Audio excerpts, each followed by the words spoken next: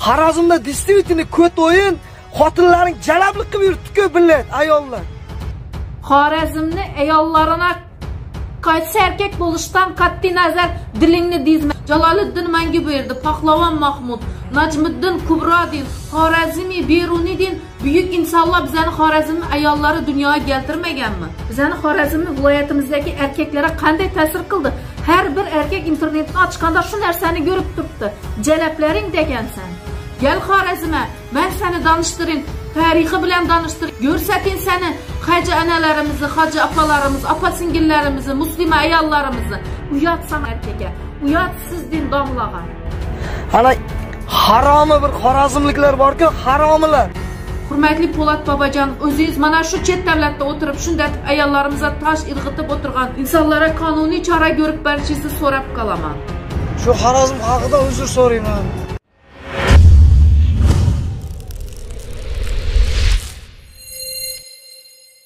Assalomu alaykum. Sizlar bilan yana men sherjanova quvonchoy birga bo'lyapmiz. Bugungi aytadigan so'zlarimizni endi tushunsangiz ham tushunmasangiz ham xorazm shevasida olib boraman. Besh ming kilometrda o'tirib xorazm ayollarini jalab bittani likildatib o'ynaydi.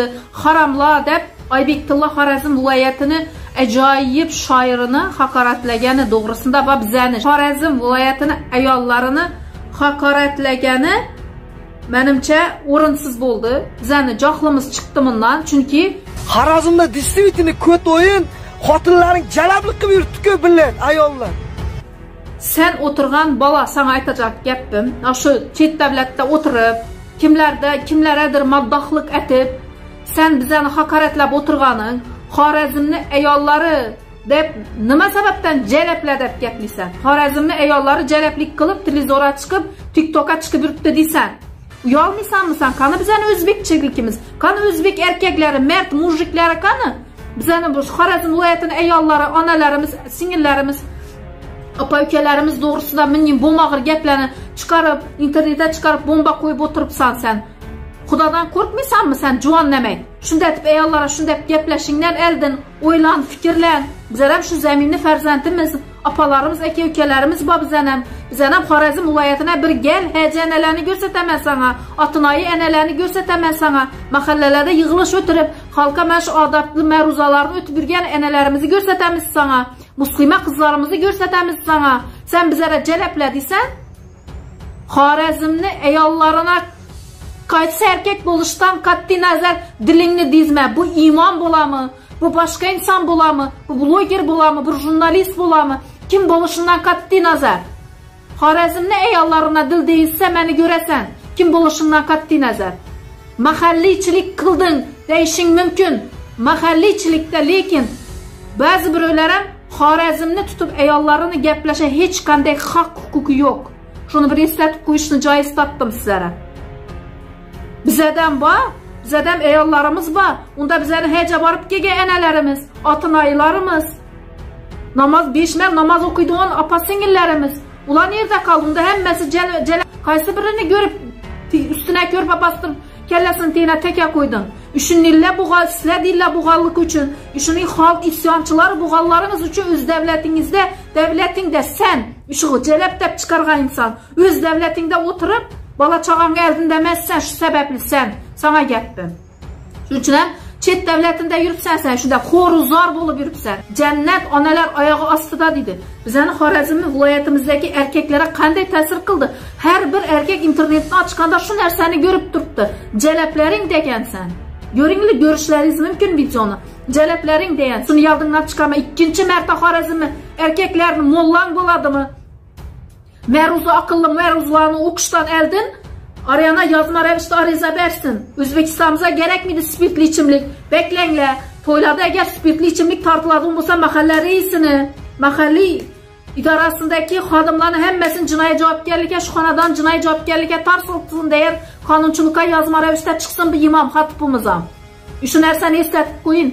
mahallachilik etmasdan hammamiz shu zamin ona zamin o'zbekistonning farzandlarimiz bizlarni ayollarimizni dil degizishingga nafaqat xorazmni ayollari. O'zbekistonni ayollarini dil tegishda qaysi biring bo'lishingdan qat'iy nazar? Haqqing ham yo'q huquqing ham yo'q. Shu narsa yodingizdan chiqmasin. Bizani ayollarimiz ikkinchi marta haqorat etib chiquvchi bo'lmanglar hamma ayollarimizni shuni eslatib o'taman shunga so'z bor. Konstitutsiyada shunga qonunda bor. 18 moddada o'zbekiston respublikasida barcha fuqarolar bir xil huquq va erkinlikka ega bo'lib jinsi irqi millati tili dini ijtimoiy kelib chiqishi e'tiqodi shaxsiy va ijtimoiy mavqeidan qat'iy nazar qonun oldida tengdirlar. Imtiyozlar faqat qonun bilan belgilanib qo'yiladi. Hamda ijtimoiy adolat prinsiplariga mos bo'lishi shart. Bu qonunda ko'rsatilgan bu qonunda belgilangan. Shuning uchun hech biringni xorazmni ayollari bo'ladimi erkaklari bo'ladimi gapirishga o'zbekistonni haqqimiz yo'q. Bizda bilasizlarmi? Kimlar? Biz kimni avlodlarimiz? Bizlar jaloliddin manguberdini avlodlarimiz. Mard jasur erkaklarimiz qani o'zbekistonda? Mana shunaqa chet davlatga chiqib ayollarni maskara qilib o'zini ayollarini o'zini respublikasini ayollarini boshqa davlatlarga tomosha qo'yib o'tirgan necha minglagan internet tarmog'ida ko'rib turibdi bu narsani. Uyat uyat sizlarga uyat sanga sanar er, sanning erkakka uyat siz siz sizdin domlaga yana shuni aytib mən, şairləriniz oybek Tilla deb oybek tilloga dil deyizibsan san avvalambor oybek Tilla tutgan mana shu ruchkani tut. Oybek Tilla tutgan mana shu dəftərini tut. Oybek Tilla o'tirgan davrada san qadamingni bosib ko'r. Oybek tilloga dil deyizman tushundingmi? Xorazm viloyatimizni oybek tillosina dil deyisha umuman haqqing yo'q. San oybek deyim, bo'lib sochingda bir tala oqing bo'lsin. San chet davlatda o'tirib nonni nun deb novni mag'zini yetasan nonni tushunasan san. Xorazm ayollaridan qanday inson buyuk insonlar dunyoga kelganini o'zing bilasanmi? Qanday ulug' insonlar dunyoga keltirgan bizani shu muqaddas ayollarimiz? Jaloliddin manguberdi pahlavon mahmud najmiddin kubrodin xorazmiy beruniydin buyuk insonlar bizani xorazm ayollari dunyoga keltirmaganmi? Zan xorazmni ayollari jannatiy emasmi? O'zbekistonimizda ayollari shunga buyuk insonlarni dunyoga keltirgan. Sen shunga so'zlaring bilan bizni haqorat etishga qanday mantiqli o'rinli gaplarni gaplab turibsan? Gal xorazma men seni donishtiring tarixi bilan donishtiring xivaga olib seni ko'rsating seni haji onalarimizni haji opalarimiz opa singillarimizni musulmon ayollarimizni. Har bir aytgan gapingni o'ylanib mag'zini chaqib undan keyin xorazm ayollari deb shu mani tarbiyam to'g'ri kelmay turibdi shu so'zni takrorlab aytisham man majbur emasman.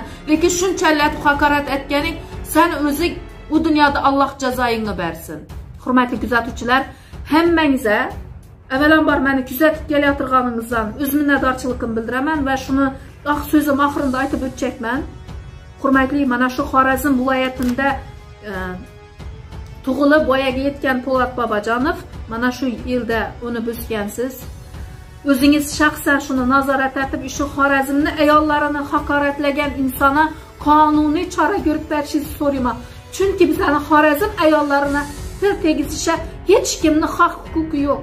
O'zingiz nazoratingizda olib borishingizni so'rab qolaman. Har biringizga men bu mavzuga qaytmayacak edim. Bu mavzuga qaytishga majbur bo'ldim. Chunki yuqorida ko'rgan so'zlaringiz har bir ayolimizni o'zbekiston viloyati xorazm viloyati har bir ayolimizni hattoki mana shu olti yoshar farzandimizgacha bu narsa yomon ta'sir etdi qizlarimizga. Shuning uchun mana shunga qonuniy chora ko'rishingizni so'rab qolaman. Barchangizga rahmat salomat bo'ling.